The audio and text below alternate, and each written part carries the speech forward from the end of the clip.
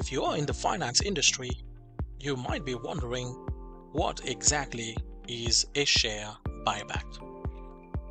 Let's take a real life example.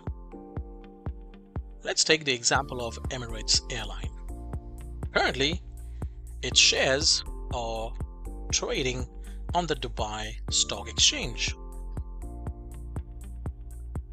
Now, for simplicity, we are going to assume that the number of shares outstanding for Emirates Airlines is 1 million.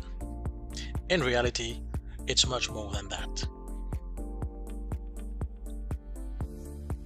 Emirates decides to buy back 200,000 shares.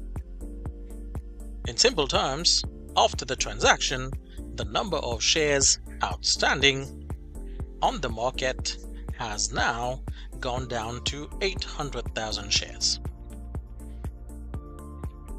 Okay, but wait a minute. Why exactly would Emirates Airline buy back its own shares? Well, there are numerous reasons. Number one, reducing the number of shares can increase the value of the remaining shares on the market.